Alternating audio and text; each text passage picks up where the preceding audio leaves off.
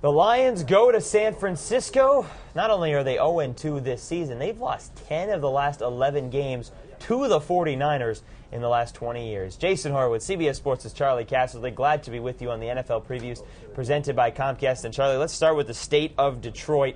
Obviously, it's the state of Michigan, but the state of the Lions uh, as a football team. Uh, Roy Williams griping about the new offense, a lot of uh, unrest in that locker room. What is the state of Rod Marinelli's team?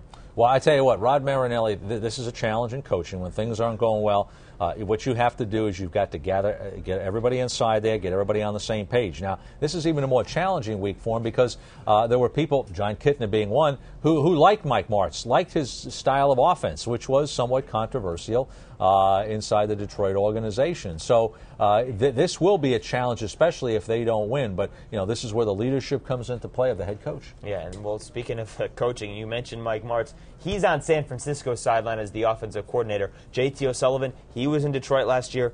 He's on San Francisco's sideline. They had 365 yards of offense last week in the overtime win at Seattle. They only surpassed 350 once all of last season. Is the optimism, should it really be there as much as it is right now in San Francisco? Well, I think a couple of points there. First of all, you got a terrific runner in Frank Gore. We're going to look at his stats here of the beginning of the year. You can see he's almost five yards a carry on the rush, over 10 yards on a reception. Those are outstanding numbers. Frank Gore can do this. He's a legitimate outstanding running back. So that, that's not a fluke there. Now, the thing with Mike Martz, Mike Martz knows the personnel on the defensive side of the ball for Detroit, and the defensive staff of Detroit knows Mike Martz. What's that mean? Well, first of all, Mike Martz is going to open it up and throw it downfield. His quarterback, though, got sacked eight times last week. So somehow the pass rush of Detroit, which is, is, is not very good, Okay, they're going to have to blitz and come with people to get pressure. So it's going to be a question of sacks versus big plays. Who wins that statistic?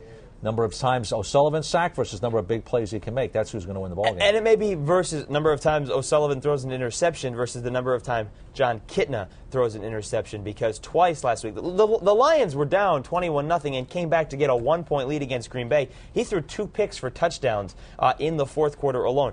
Is that always going to happen? I mean, it seems to have happened the last two years with Kitna, and it's happened this year as well. Well, that, that's part of the, uh, the issue with Jon Kitna. He, he's a veteran quarterback but at times he'll be careless with the football and take chances. As you can see, four interceptions is not good. Now, what I see in this, I see two quarterbacks that are prone to have the potential to throw interceptions.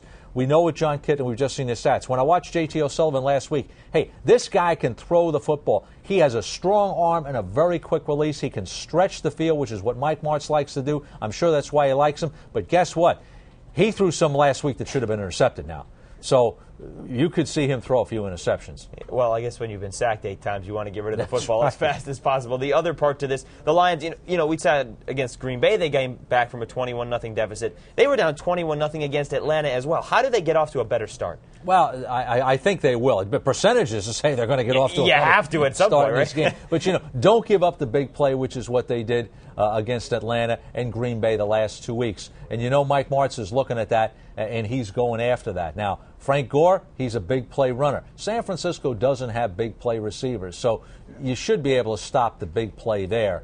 Uh, though, though Martz's passing attack will eat up chunks of yardage, 20 yards at a time. Frank Gore had over 160 yards when these two teams met a couple years ago uh, as well. But that one was in Detroit, a San Francisco victory. Let's throw all the numbers into the computer 10,000 times, 10,000 results, the AccuScore prediction. And how about that? San Francisco, a, a team is huge favorite against the Lions. Who do you like? I like San Francisco. They're playing at home. They're coming off a big road win. Uh, the offense is going to get better every week there. Uh, it should be. Uh, I think uh, the thing with Detroit, two losses, heartbreaking one last week where they had the lead in the fourth quarter, as Jason pointed out. Now you're going on the road. San Francisco has too many things going for them right now. All right, we'll see how it plays out. It's a 4:05 p.m. Eastern start. And for more on this game or any other in Week Three, be sure to stay with CBSSports.com. Watch everything else on the CBS Audience Network. For Charley Casserly, I'm Jason Horowitz. Take care, folks.